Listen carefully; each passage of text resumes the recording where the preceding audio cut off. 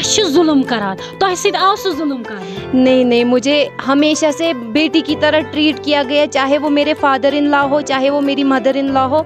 मुझे ऐसा कभी फील नहीं हुआ कि मैं किसी और घर में हूँ। मुझे हमेशा लगा मैं अपने माँ बाप के पास ही हूँ। इन लॉज का सपोर्ट ज़रूरी है। मैं इन लॉज से भी जो भी मुझे देख रहे हैं, मैं उनसे अपील करना चाहती हूँ कि जो बेटियाँ कर सकती है वो बहुए भी कर सकती है आपके लिए। जैसे बेटियाँ नाम रोशन करेंगी वैसे ही इनशाला बहु भी इरादे जिनके पुख्ते हो नज़र जिनकी खुदा पर हो। इरादे जिनके पुख्ते हो नज़र जिनकी खुदा पर हो। तला तुम खैज मौजू से वो घबराया नहीं करते। अस्सलाम नाजरीन, आप जुड़ चुके हैं आवाज़ बरसगीर के साथ। मैं सईद इशरत नज़ीर। नाजरीन कराम, आज हम आपकी मुलाकात एक ऐसी लड़की से कराएँगे जो कि रहने वाली त्राल की हैं, लेकिन उनकी शादी सलर पहलगाम में हुई है। आपको बताना चाहेंगे कि माहिरा एक आर्टिस्ट है। इस आर्ट का हुनर रखने के साथ साथ ये एक बहू भी है, बहू के साथ साथ ये एक माँ भी है। उसके साथ साथ ये एक स्टूडेंट भी है। माहिरा शाह हमारे साथ मौजूद है। माहिरा सबसे पहले आपको हमारी टीम की जानब से बेहद मुबारकबाद। शुक्रिया शुक्रिया। माहिरा क्या कहना चाहोगी? आप कश्मीर की पहली ऐसी कम उम्र लड़की है जो घर भी संभालती हैं बच्चे भी संभालती हैं उसके साथ साथ वर्ल्ड बुक ऑफ़ रिकॉर्ड्स में आपने नाम दर्ज किया है। अस्सलाम वालेकुम वरहमतुल्लाह मेरा नाम माहिरा शाह है और मैं पिंगलिश त्राल की लड़की हूँ मेरी शादी सलर पहलगाम में हुई है। जी मैं एक सेल्फ टार्ट मंडला आर्टिस्ट हूँ रिसेंटली मैंने एक वर्ल्ड रिकॉर्ड बनाया है world first and smallest shikara in mandala art. जी। आपसे जानना चाहेंगे कि ये मंडला आर्ट असल में होता क्या है? अगर जोमेट्रिकली बोला जाए तो ये एक सर्कल होता है, लेकिन मैंने इसको अपने कल्चर में तराशा है, जो हमारी कल्चरल चीज़ें होती हैं, मैंने उसको, इसको इसी में कन्वर्ट कर दिया है। जैसे कि मैंने कश्मीर की चीज़ें जो कल्चर में हम यूज़ करते हैं, हमारे कल्चर में यूज़ होती है व्हीलिंग मशीन जिसको हम कश्मीरी में यंदर बोलते हैं।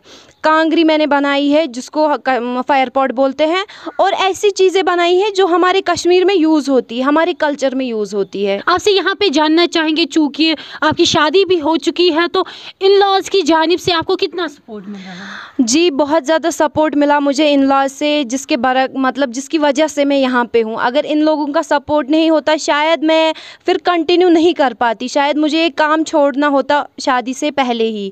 लेकिन इनका सपोर्ट बहुत ज़्यादा मिला तो मैं इनको ही कॉन्ग्रेचुलेट करना चाहती हूँ क्योंकि इनके जानब मुझे बहुत ज़्यादा सपोर्ट मिला।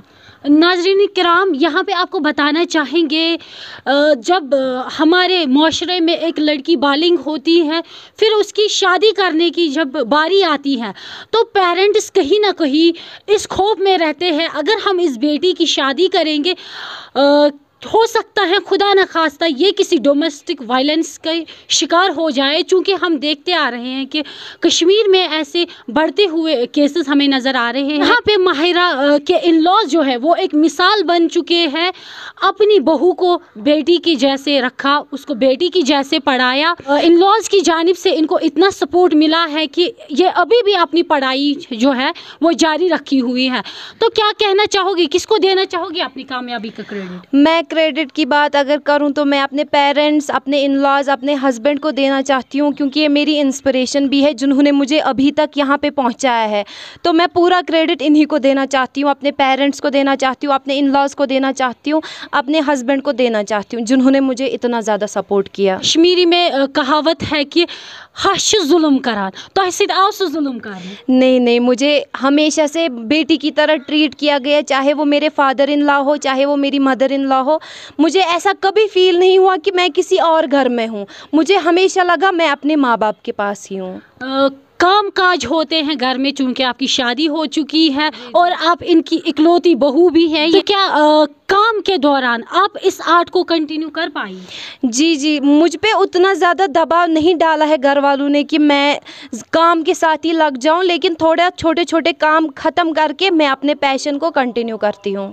आपसे जानना चाहेंगे, चूँकि आप कश्मीर की पहली ऐसी कम उम्र लड़की है जिसने वर्ल्ड बुक ऑफ़ रिकॉर्ड्स में अपना नाम दर्ज किया है मंडला आर्ट में।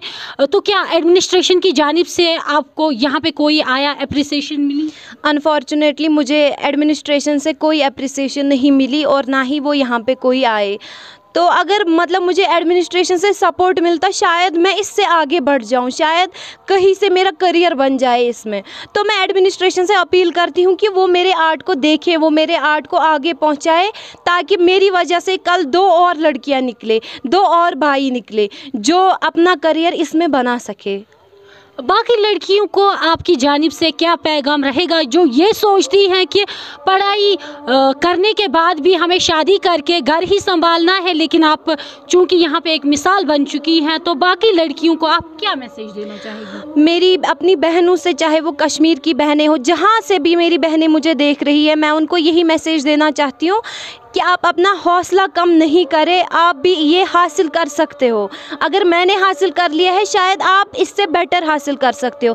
बस अपना हौसला बरकरार रखें और अपने पेरेंट्स का सपोर्ट, ज़्यादा से ज़्यादा अपने पेरेंट्स का सपोर्ट ज़रूरी है। चाहे वो शादीशुदा लड़की हो, चाहे वो मतलब अनमेरिड लड़की हो, एक तो पेरेंट्स का सपोर्ट इसमें ज़रूरी है और इसमें इन लॉज का सपोर्ट ज़रूरी है। मैं इन लॉज से भी जो भी मुझे देख रहे हैं मैं उनसे अपील करना चाहती हूँ कि जो बेटियाँ कर सकती है वो बहुएँ भी कर सकती है आपके लिए। जैसे बेटियाँ नाम रोशन करेंगी वैसे ही इनशाला बहू भी कर सकती है। जानना चाहेंगे कि फ्यूचर गोल्स क्या रहेंगे आपके? मेरे फ्यूचर गोल्स यही रहेंगे कि मैं अपने कश्मीर को प्रमोट करूँ। अगर मतलब मैं चाहती हूँ कि मैं पूरे जो इंडिया में स्टेट है जो उनके कल्चर है मैं उनको भी आगे बढ़ाऊँ।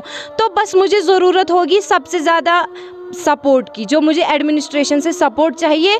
बाकी अल्हम्दुलिल्लाह से मेरा हौसला, मेरी हिम्मत वो कम नहीं होगी। तब भी मैं आगे बढ़ूँगी इन चाहे मैं कामयाब हो जाऊँ, चाहे मैं कामयाब नहीं हो जाऊँ, मैं अपनी हिम्मत कम नहीं करूँगी। चलिए, बहुत शुक्रिया हमारे साथ बात करने के लिए। हमने पहले ही बताया कि इरादे जिनके पुख्ते हो, नज़र जिनकी खुदा पर हो, तलातुम खैज़ मौजूद से वो घबराया नहीं करते। चाहे आंधी आए, तूफ़ान आए, जिन्होंने अपने कारवा जारी रखने होते हैं, वो रखते हैं। जिनके हौसले बुलंद होते हैं, वो अपनी मंजिलों की जानी बढ़ते जाते हैं। उसी तरह माहिरा ने घर भी संभाला, बच्चा भी संभाला, पढ़ाई भी जारी रखी। उसके साथ साथ वर्ल्ड बुक ऑफ़ रिकॉर्ड्स में नाम दर्ज करके इंडिया फ़िलहाल के लिए इंडिया बुक ऑफ़ रिकॉर्ड्स की जानब से गोल्ड मेडल भी हासिल किया। लेकिन सबसे बुरी बात जो हमें भी यहाँ पे लगी कि ये भी कहीं ना कहीं एडमिनिस्ट्रेशन से नाराज़ है एडमिनिस्ट्रेशन से खफा है।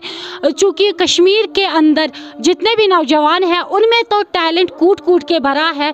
अगर किसी चीज़ की कमी है तो वो है प्लेटफॉर्म्स की, वो है सपोर्ट की। प्लेटफॉर्म्स अवेलेबल नहीं कराए जाते हैं। सपोर्ट इनको एडमिनिस्ट्रेशन की जानब से नहीं मिल रहा है, जिस वजह से से आज हमारी बहन माहिरा शाह भी यहाँ पे स्टेशन से निराश नज़र आ रही है। वही हमारी आ, मांग जो है वो ज़िला इंतज़ामिया से रहेगी कि वो ऐसे होनहार बच्चों की ओर नज़र दोहराए ऐसे नौजवानों की ओर नज़र दोहराए और इनके हौसले बुलंद करे। अब बने रहे इस खास रिपोर्ट के साथ। मुझे दे इजाज़त। अल्लाह हाफिज़।